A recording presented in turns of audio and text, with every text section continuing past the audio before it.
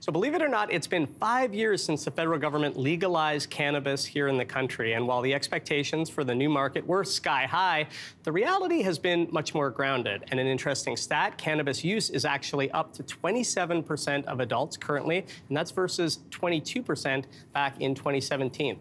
For a closer look at where things stand today, we're joined by the University of Windsor's Bill Bogart from the Faculty of Law. Good morning, Bill. Good morning. Thanks for being here. So, if you can put it into context for us, like what what were those initial hopes for the market versus the much different reality that we're seeing today in 2023? Well, I think um, the hope was that the market would really take off. People mm-hmm. would consume it and uh, perhaps consume it in, in amounts that uh, uh, weren't uh, optimal from a health perspective. Right. Um, and th- that, and there would be a migration um, immediate, almost immediately from the illicit market to the legal market. Right. Right. And uh, so what we saw was um, overproduction. Mm-hmm. So that was a problem.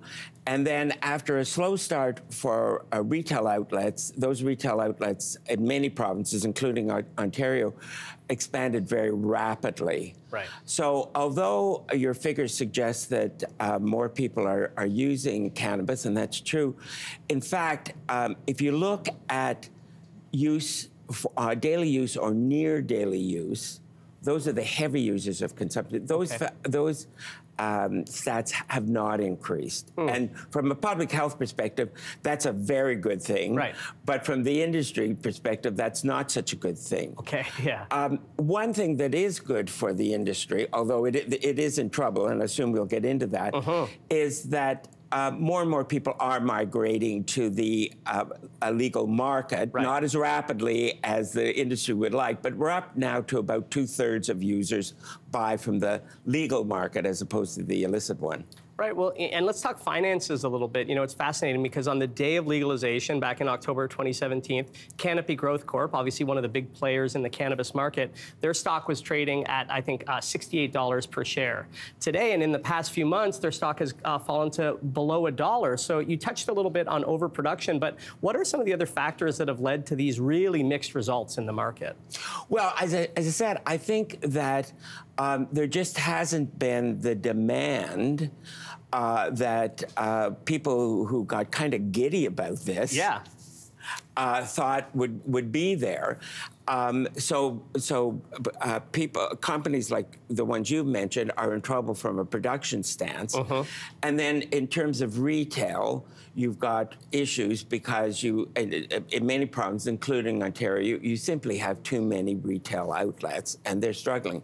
But uh, can we talk just for a minute of what the industry wants? Yeah.